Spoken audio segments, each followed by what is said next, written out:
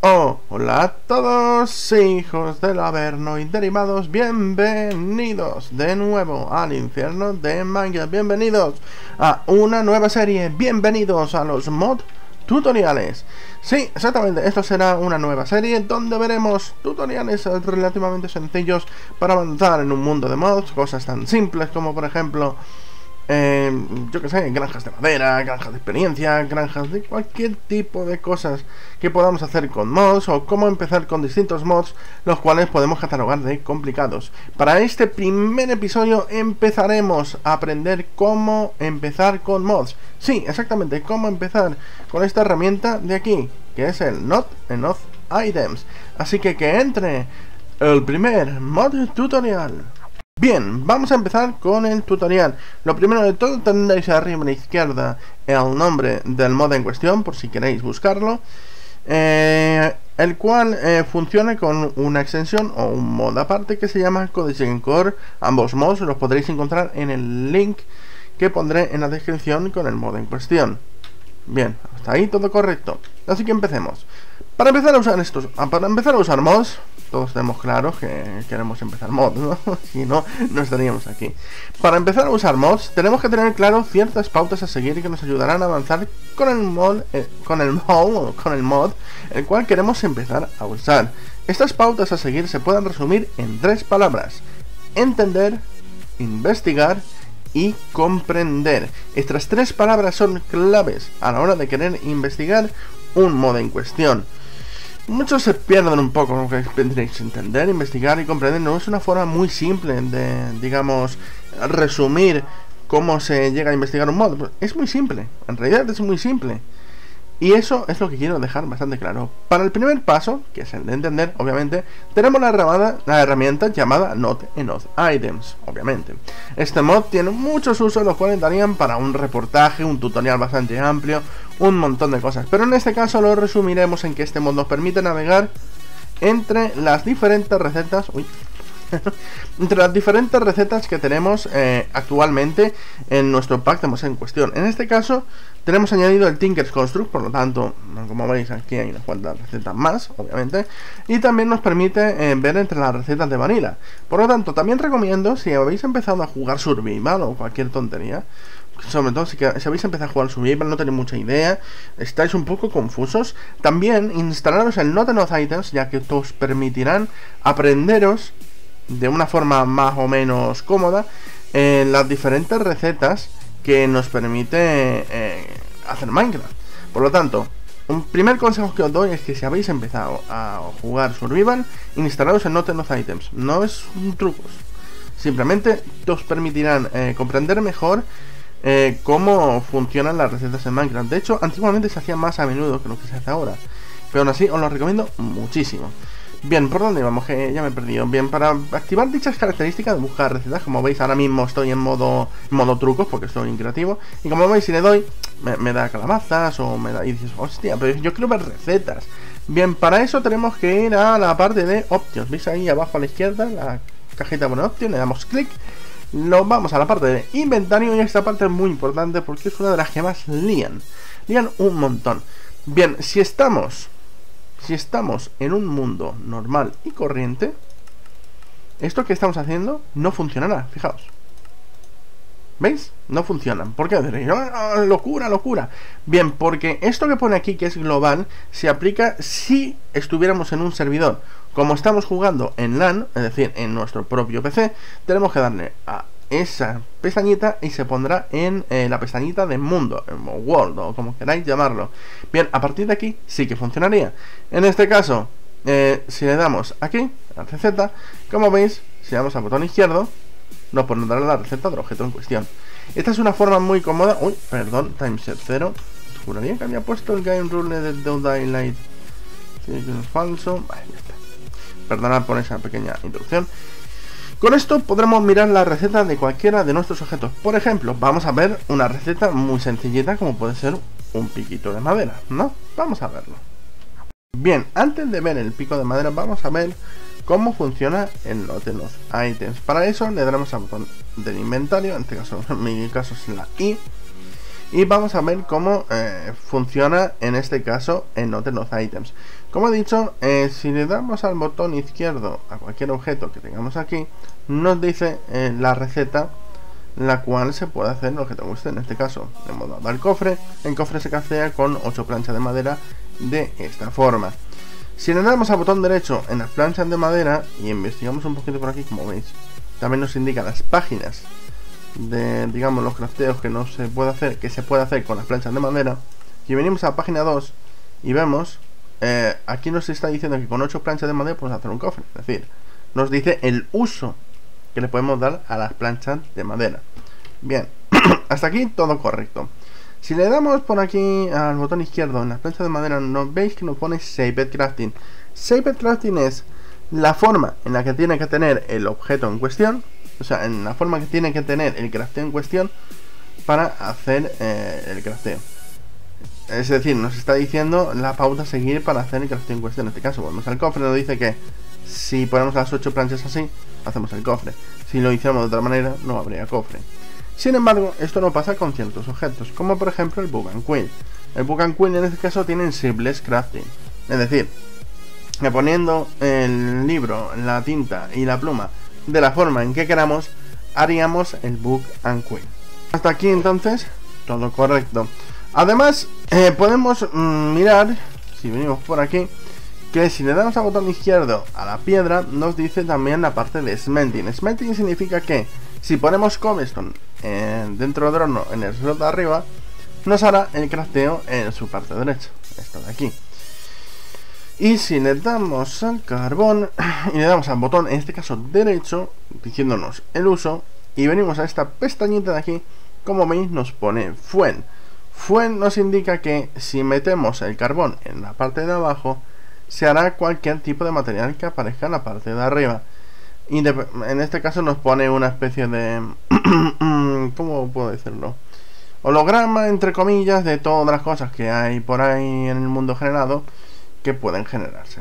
En este caso, como he dicho, nos indica el tipo de uso que podemos darle dentro de un horno. Bien, hasta ahí todo correcto. Así que vamos allá con el pico de madera. Pero antes de eso, hablaremos de esto de aquí, que es el rotor de búsqueda. Porque, por ejemplo, eh, si queremos buscar cualquier objeto en cuestión, simplemente lo tenemos que escribir y el sistema en sí filtrará los objetos en cuestión.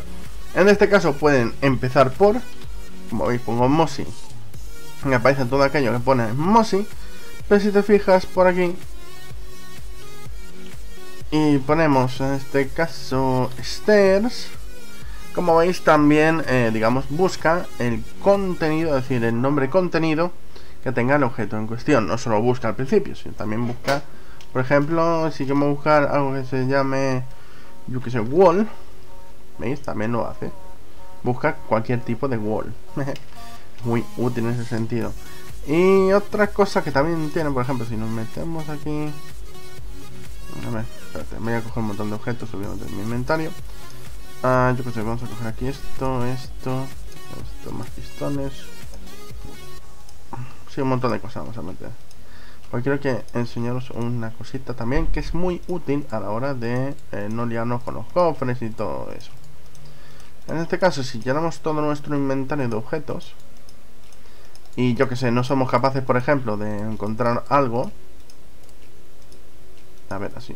Vamos a hacer así un poquito. Así. Un poco más por aquí. Vale, perfecto. Y que vamos a buscar, por ejemplo, el hierro que tenemos en el inventario. Si le damos dos veces, si veis, se pone la pantallita, el recuadro en amarillo. Y si buscamos, como veis, nos resalta en este caso los objetos que sean iguales a lo que estamos buscando. En el caso de que estemos buscando saplings, nos buscaría los saplings. En el caso que solo el de sapling, nos buscaría el sapling de sapling. Y si queremos pistones, pues también buscaría, por ejemplo, entre los pistones. Buscamos web, buscaría entre las copper. Para desactivar este modo, también dos veces botón izquierdo y se quitaría. Bien, eso es lo que se llama el este de búsqueda. Así que vamos a empezar con el sistema práctico. Vamos, hacemos un pico de forma rápida con el Nate, por ejemplo. Bien, en este caso lo buscamos pickaxe. En este caso muy sencillito, ¿verdad? Vamos a poner también un poquito de madera para poder hacer esto de una forma fácil y rápida. Y vamos a buscarlo tal que por aquí. Vale, ya lo tengo buscado. Como veis, también guarda en este caso las búsquedas. Le damos al botón izquierdo al Google Pickaxe, eso podemos hacer. Y nos dice cómo se hace la receta. Si le damos al botón izquierdo encima del objeto que tengamos aquí que nos pide la receta, como veis, eh, cambia la interface y nos pone con qué se hace ese tipo de objeto. En el caso de que lo hiciéramos con el botón derecho, pues obviamente nos daría el uso de todos los usos que podemos darle, por ejemplo, un palo. Es decir, no solo podemos dar botón izquierdo y botón derecho en este, en este, digamos, inventario de aquí, sino que también en el crafteo que nos indica. Bien, en este caso, como nos está indicando Shaped Crafting, nos está diciendo que eh, necesitamos hacerlo de esa manera. En este caso, si venimos por aquí, tal, a ver si lo hace con el de madera, porque si no, a este paso, ahí, aquí, ¿veis? En este caso, como veis aquí pone un icono de pregunta que si le damos, nos pone en forma holográfica el tipo de, eh, digamos, crafteo que podemos hacer en el inventario que tengamos abierto. En este caso, como tenemos eh, solamente de nuestro, digamos, eh, inventario, pues le damos así, nos dice cómo se hace y plop, y ya está, ya tenemos la madera. En el caso de hacer este tipo de cosas que requieren más de 4 slots, obviamente necesitamos una versión de crafteo, así que vamos a hacer un momento. Mm. Fijaos que curioso. Botón derecho. Ya sabemos que necesitamos en este caso madera, por lo tanto, salimos con el escape, botón derecho cogemos madera, hacemos lo mismo. En el caso nos dice que queremos, necesitamos palos. ¿Cómo se hacen palos? Con dos bloques de madera, muy facilito. Hacemos shift, eh, hacemos... Eh, ah, por cierto, es verdad que no lo he explicado. Si hacemos shift, botón izquierdo, directamente se pondrán en el slot que hagamos el crafteo de forma automática, sin tener que hacer nosotros el típico movimiento de moverlo para allá. Por lo tanto, podemos hacer los palos que queramos. Vamos a hacer en un momento un montón más de madera para hacer los picos que queramos. Entonces, para hacer un pico rápidamente, ahora que ya tenemos todos los conocimientos, es le damos a Google Pickaxe, hacemos Shift, botón izquierdo sobre el icono de pregunta y haremos el pico de forma muy rápida. Esta es una forma muy fácil de craftear con el NE. Esto se usa, mm, se usa muchísimo a la hora de usar mods, sobre todo cuando se hacen muchos crafteos a la vez. A lo mejor tienes un crafteo aquí, otro ahí, otro ahí, otro ahí, y dices, venga, venga, y lo haces en un momento. Si lo hiciéramos en modo manila, pues obviamente tener que estar haciendo esto todo el rato, pues es mucho más lento, por ejemplo, que hacer esto. Fijaos. Plop. Ya está. ¿Veis que es rápido? O sea, es mucho más rápido, mucho más intuitivo. Por eso se usa mucho este método de crafteo. Bien, ahora que ya conocemos la parte práctica y la teórica de no tener items, podemos aplicarlo a, las tres palabras mágicas que dije al principio del vídeo. Es decir, eh, para poder eh, empezar con mods e intentar comprenderlos, tenemos que tener en cuenta que hay que primero entenderlos, investigarlos y comprenderlos. La parte de entenderlos quizás no ha quedado muy clara, porque solamente hemos hablado de no tener los ítems, pero ahora lo explicaré a continuación. Vamos a pensar por un momento que queremos matar mobs. Mobs de una forma en la cual nosotros no tengamos que hacer nada. Por lo tanto, como tenemos instalado el Tinker's Construct, vamos a investigarlo. Podríamos hacer búsqueda tal, pero como no tenemos cierto mod que nos ayuda en la búsqueda, pues lo vamos a hacer de forma manual. En este caso venimos a Tinker's Construct, que hemos oído, yo que sé, que se puede utilizar cierto material para hacer eh, mm, para hacer mini granjas o lo que sea. Miramos por aquí, vemos que hay bloques, vemos que hay cositas, lo miramos un poquito, vemos que hay herramientas, uh, nos interesa, bonitas herramientas, tal.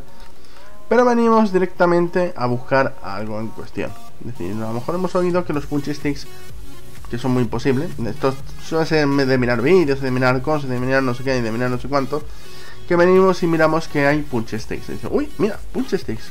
¿Para qué sirve esto? Bien, le damos al botón izquierdo y miramos el hace y decimos, uy, esto es bastante fácil. A partir de aquí, si no sabemos cómo funciona, podemos hacer dos cosas. O nos metemos en un mundo creativo y lo investigamos a cholón, que eso es una forma muy fácil de hacer las cosas o dos, nos vamos a la wiki del modo en cuestión por ejemplo, la wiki del Tinkers Construct, y miramos para qué sirve. Esto lo recomiendo muchísimo, lo de mirar la wiki, sobre todo para mods muy complejos. En este caso, iríamos, por ejemplo, a la wiki del Tinkers Construct y nos indicaría que los punch sticks sirven para meterle un efecto de slowness a los mobs y además los dañaría. Pues vale, vamos a hacer el crafteo. En este caso necesitamos una mesa de crafteo, así que necesitamos un poco de madera. Y necesitamos también azúcar, obviamente, ¿no? Eh, caña de azúcar para hacer el crafteo. Bueno, pues ahora que tenemos los materiales, vamos a hacerlo. Ay, perdón. Vamos allá, punch sticks. Muy bien, para eso necesitamos una mesa de crafteo. Hacemos una mesa de crafteo. Ahí. Le venimos a nuestra mesa. Punch sticks, botón, shift botón izquierdo. Y los cogemos y decimos, uy, mira, tengo un montón.